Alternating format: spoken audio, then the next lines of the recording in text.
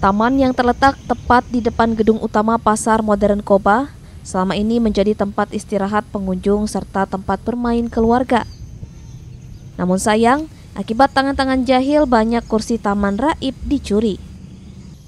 Pencurian diduga terjadi pada Minggu dan Selasa malam kemarin. Ada sebanyak 14 unit kursi taman yang raib, tak hanya itu sejumlah lampu taman juga digasak pencuri. Akibat kejadian ini, kerugian pemerintah ditaksir mencapai 20 juta rupiah.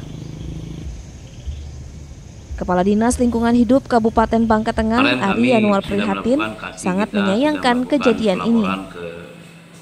Pihaknya akan mengevaluasi dan berkoordinasi dengan Satpol PP serta polisi untuk berpatroli di areal pasar modern hingga alun-alun Koba.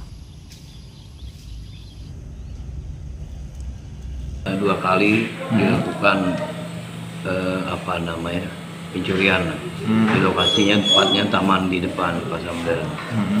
Nah hal ini sangat disayangkan bahwa ini merupakan aset kita hmm. untuk membeli eh, kenyamanan dan eh, tempat rekreasi bagi orang-orang yang membawa anak lah kalau ke pasar modern itu untuk menikmati Eh, kemarin kami sudah melakukan kasih kita sudah melakukan pelaporan ke Polres Bangka Tengah. Hmm. Tinggal kita melengkapi surat uh, kuasa sudah saya tangan tadi. Okay. Berarti ini sudah disampaikan ke pihak Polres.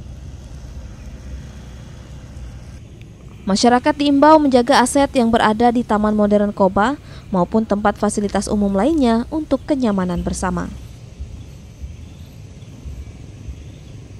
Doni Wijaya melaporkan dari Bangka Tengah.